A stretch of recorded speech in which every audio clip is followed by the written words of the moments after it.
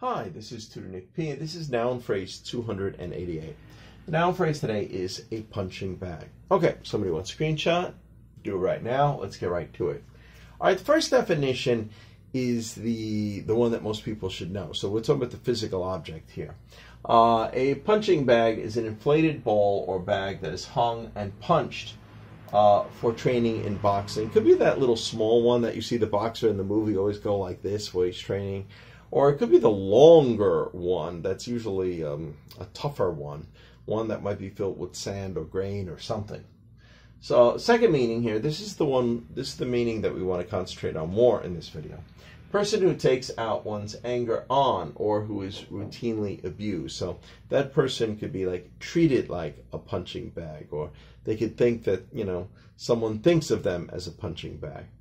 All right, let's continue. The origin of the physical bag was patented in 1872. Of course, a punching bag is used in boxing, martial arts. Here, martial arts sometimes it's actually kicked by some of the martial artists, so not, not just punched, etc. All right, let's continue. Over time, the term punching bag was used for people who were continually abused. So they're abused like a punching bag is abused. That's often hit.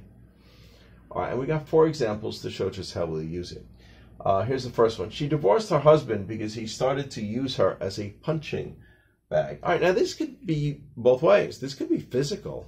I mean, the husband could have been a wife beater. He could have been physically hitting her like a punching bag, or it could be emotional too.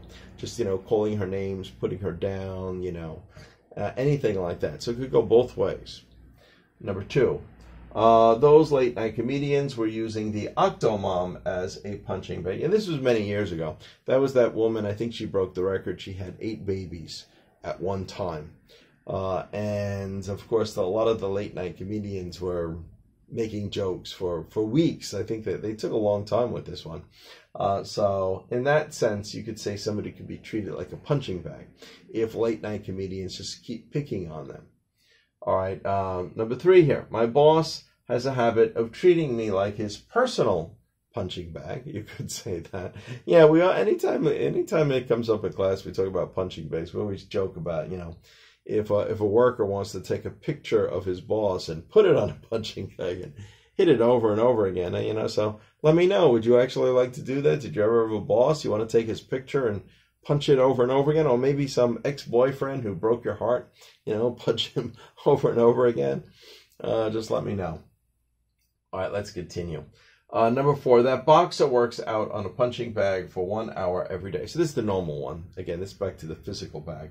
And the last one, you might hear somebody say, hey, stop treating me like you're a punching bag. You know, treat me better. Um, I'm not going to keep taking abuse or criticism from you.